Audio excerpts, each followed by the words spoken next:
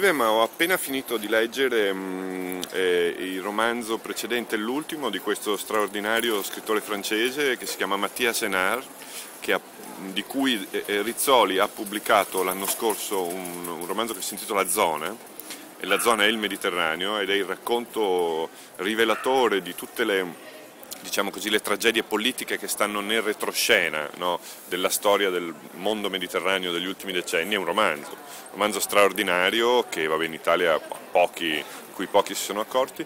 E ho appena letto il nuovo romanzo di Enar che è uscito in Francia l'anno scorso per fortuna con grande successo che si intitola Dealer des de rois des éléphants et des batailles e racconta di una cosa che pochi sanno, che di quando Michelangelo si recò a Istanbul, eh, chiamato dal, dal, sovrano ottomano di Istanbul perché costruisse un grande ponte eh, sul Corno d'Oro. Bellissimo, ve lo consiglio. Verrà tradotto prossimamente.